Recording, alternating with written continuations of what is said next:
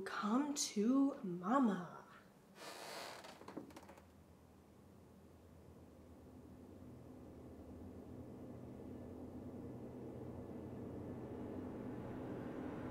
It's just the floorboards, Annie.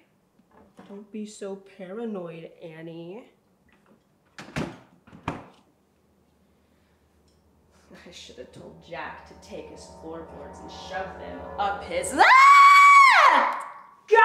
God, I'm losing my touch. Why are you covered in blood? And why are you angry? Go on. Tell her. I killed Casey. What? I killed. She killed. killed Casey. Margaret Stein. Who in the hell possessed you to do that? God, I wish I was possessed. Maybe then I could hear something other than her incessant screaming.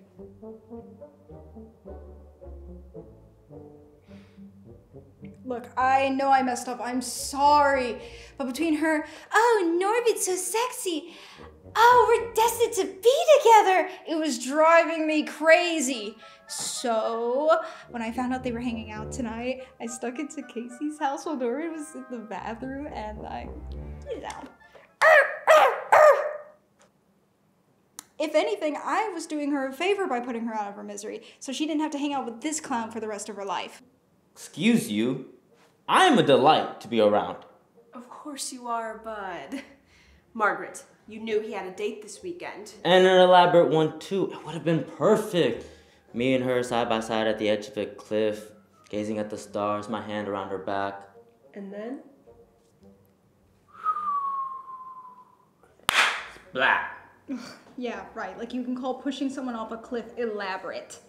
Maybe not to someone as bloodthirsty and small minded like you are. Oh, you're starting this Yeah, argument again. yeah. I'm not The disrespect small-minded. you go and try to you're kill her while I'm in the unbelievable. rest- That's- Margaret, you know the rules of this household. You are never allowed to kill You're someone someone else. else's victim unless expressly told otherwise. Yeah, yeah, I know, I know. You've said it a hundred times already. And clearly you weren't listening those past hundred Oh, times. Oh shut up, Oh, you come son of a Why bitch. would you You're make such me a think mama's it's the best time to boy. do that? Honestly, why are them use the you, why are you- you even getting Why don't we settle this before I have to clean up more blood than I'm willing to? Yeah? Norman, Margaret killed your girlfriend. You get to kill her next boyfriend. Ooh. No, no, that's not fair. I haven't even gone on my first date yet. And you know it's a Stein tradition to murder, Murder your your first first love. love. I'm sorry, honey, but when you commit the crime, you're supposed to pay the price.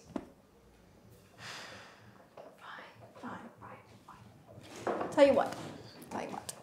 You can kill boyfriends two and three. And and and I'll wash your finger knives, hooks, knives, or whatever creative weapon you have for for uh, a month. Hmm. I want the axe. No, no, no, no. This is my axe. Your axe. My ex dead's girlfriend's blood.